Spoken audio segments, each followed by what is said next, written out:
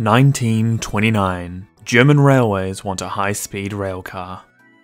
Engineer Franz Kruckenberg comes up with the remarkable idea of designing a locomotive with an aircraft engine and a propeller at the back. Because why not? I mean, that'll make your train move faster for sure. Kruckenberg's design was built, and thus the singular Schienenzeppelin was born literally named a rail zeppelin due to its resemblance to the airships of the time and Herr Kruckenberg's previous experience designing both zeppelins and aircraft, the Schienen Zeppelin was one heck of an experiment. Built in 1929, the rail zeppelin weighed 20 tons, was streamlined, and had a 46 litre petrol powered BMW V12 engine, which was used in German aircraft of the time. It had an unusually long wheelbase and ran on just two axles. It was mostly built out of aluminium to reduce weight and had room for 40 passengers, with a special compartment for smokers, because why wouldn't it? It was the 30s. It was quite unlike any other locomotive existing at the time, as steam power was still dominant on most railways, and we haven't even mentioned the propeller yet.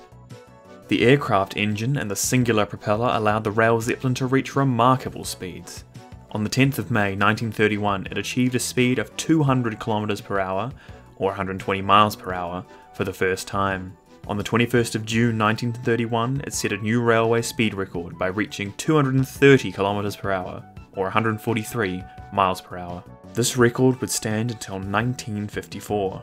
The Schienen Zeppelin still holds the land speed record for petrol powered rail vehicle as of 2022. Not too shabby. But as one can imagine, there were drawbacks to the design. For one, it was a singular railcar that was incapable of being coupled to other wagons to form a train. The nearly 20 metre long wheelbase made turning on tight curves difficult, and it couldn't climb gradients due to the separation of flow by the propeller at full power. Reversing the vehicle was inadvisable too, and there were concerns about running a high speed railcar on the old rail networks in Germany.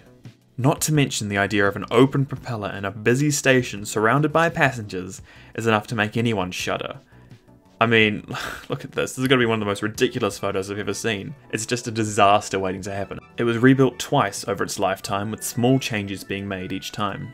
The four-bladed propeller would be swapped out for a two-bladed one, and an additional axle would be added to the front bogie.